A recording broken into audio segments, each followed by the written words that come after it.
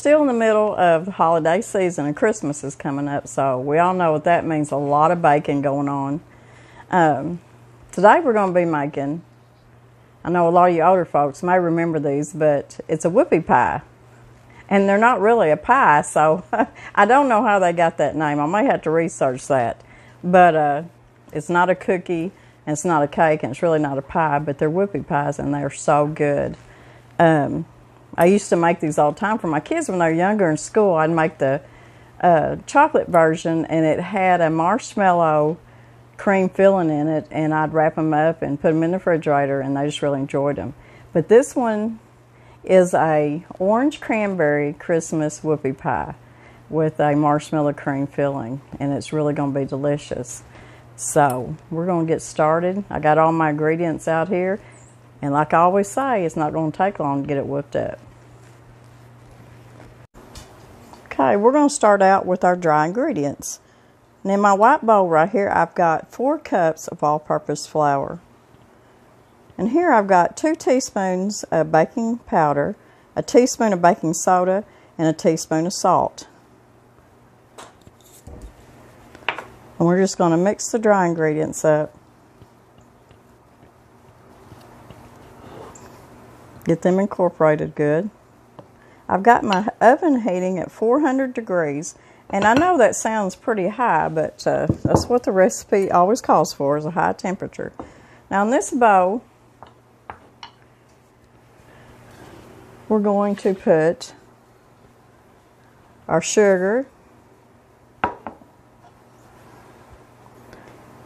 which is a cup, a cup and a half of sugar. I've got a half a cup of oil.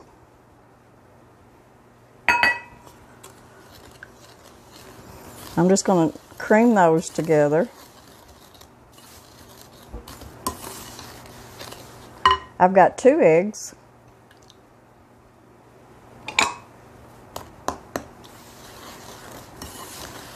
And just kind of mix that up. Get them mixed up good. Cream your sugar and your oil and your eggs together.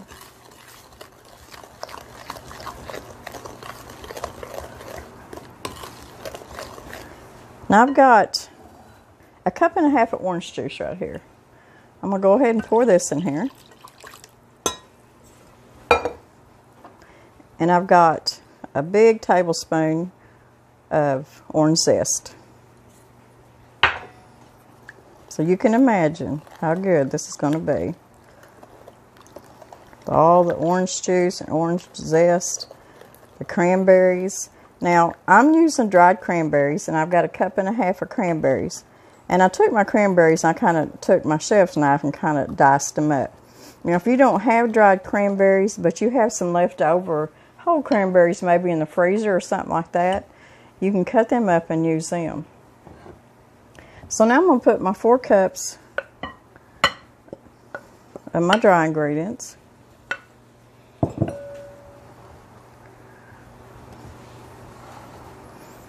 And this is a, an easy recipe, easy dough, so you don't really have to get your mixer out. I know I've had people say, you know, can I make this recipe? I don't have a mix a mixer. And yes, of course you can. You can make anything without a mixer. They done it 100 years ago with no mixers. It's just a, a thing of convenience anymore. And believe me, I love my mixers.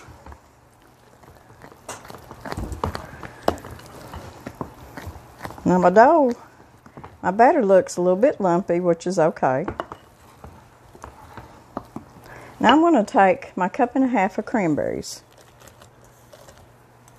And I'm just going to kind of fold that in.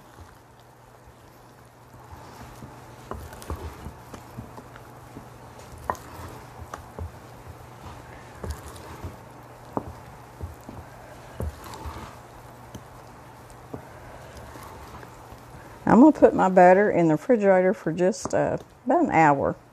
And then we'll make our we'll make our whoopie pies.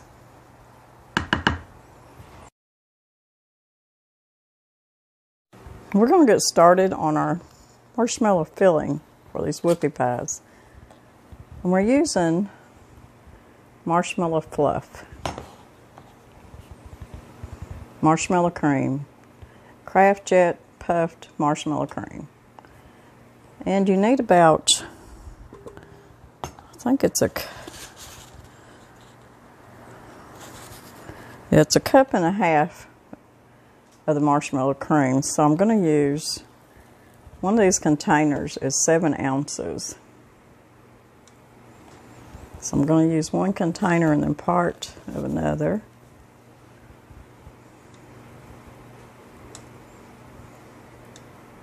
This makes a really good frosting for a cake too.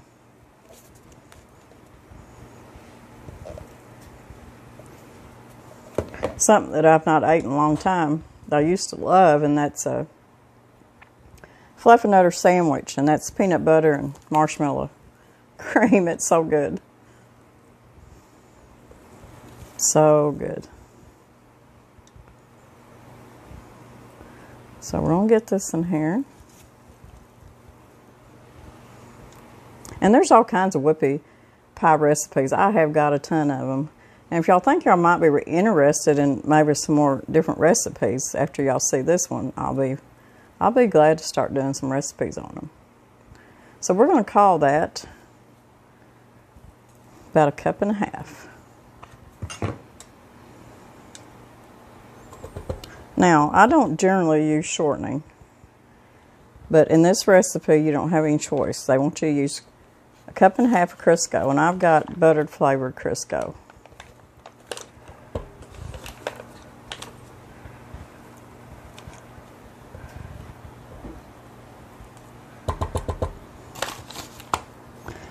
You need a cup of powdered sugar.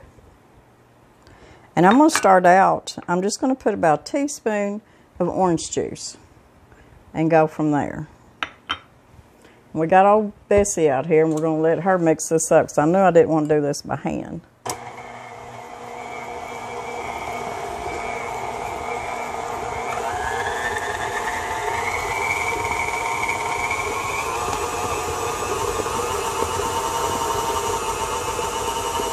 I'm just going to whip this just a little bit. Then I want to see what the thickness is before I put any more orange juice in it. I'm going to scrape down the sides a little bit. So much yumminess. It feels like, to me, like it's going to be really spreadable.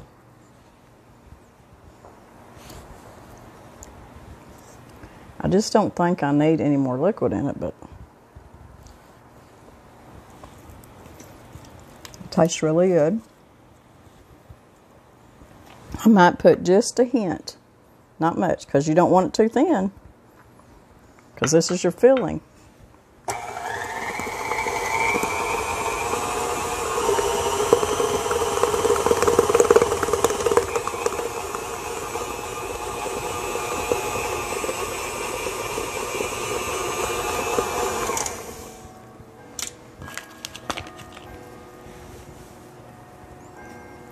That's a good spreadable consistency. I don't want it any thinner than that. So, that come together pretty fast. Now we'll get our cookies in the oven. When they come out of the oven, we got to cool them down all the way before we can put the filling in.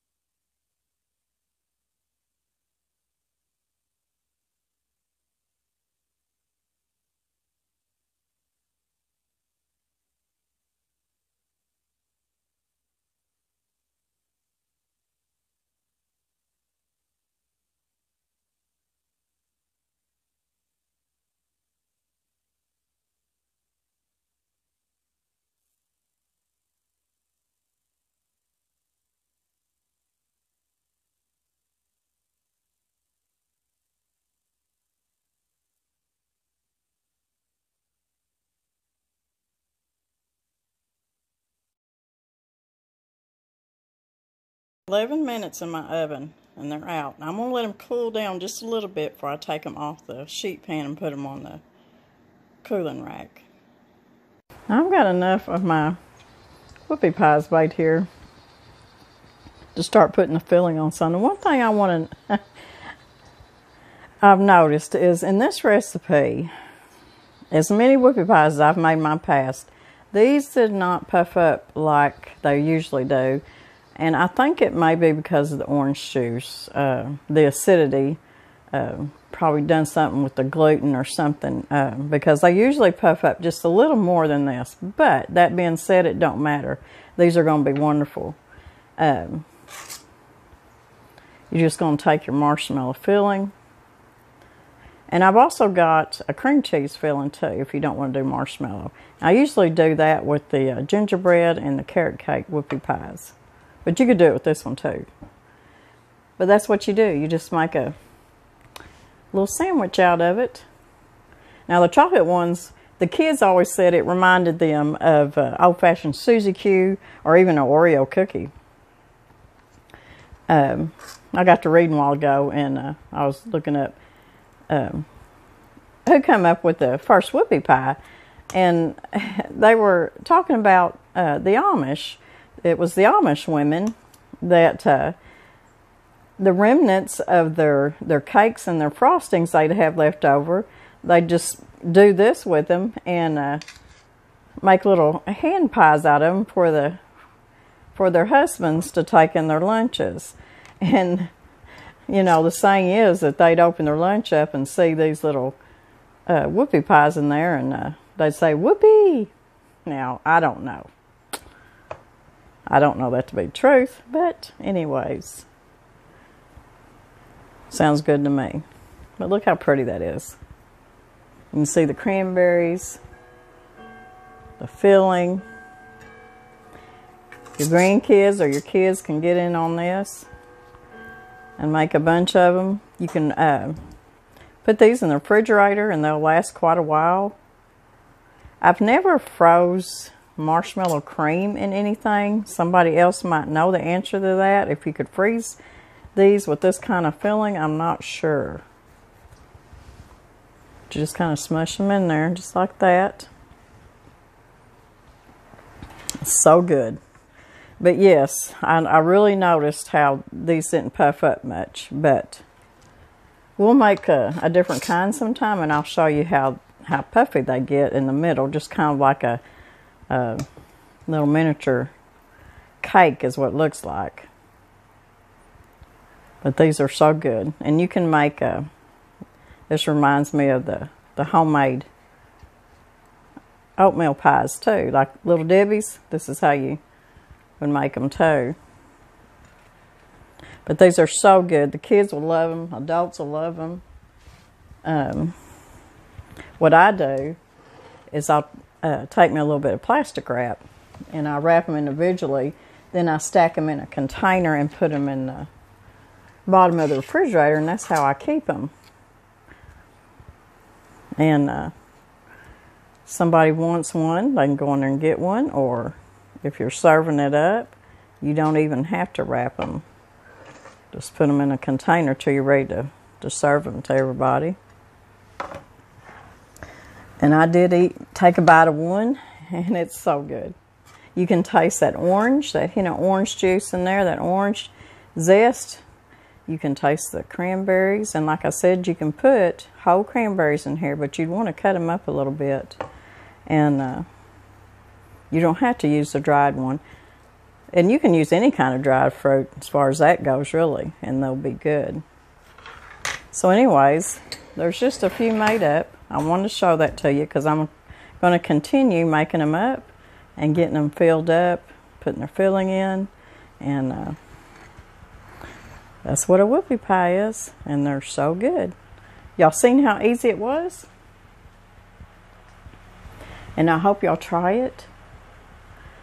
And like I said, I've got all kinds of different kinds of whoopie pies that we can make up. If y'all think y'all might want them recipes, as time goes on, we'll just be making all kinds of whoopie pies.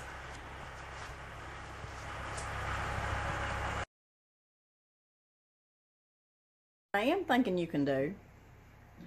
I'm thinking that you could make the uh, the whoopie pies up without the, the filling. And you could freeze them. This one's kind of not shaped right. I'm fixing to eat it. but anyways, without the filling, make these and freeze them.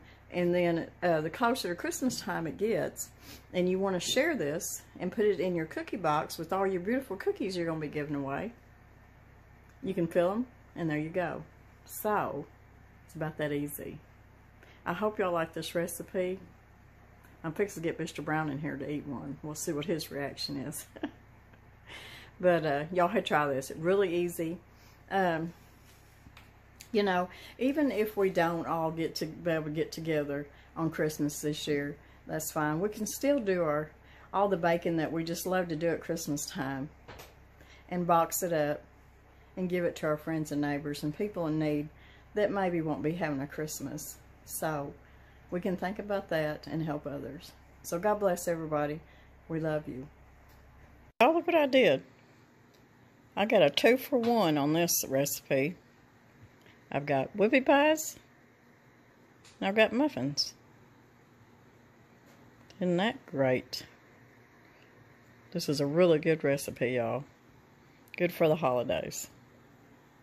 It smells good in here, don't it? so, it smelled so good in here earlier, then I've been outside and I come back in. And it smells so good.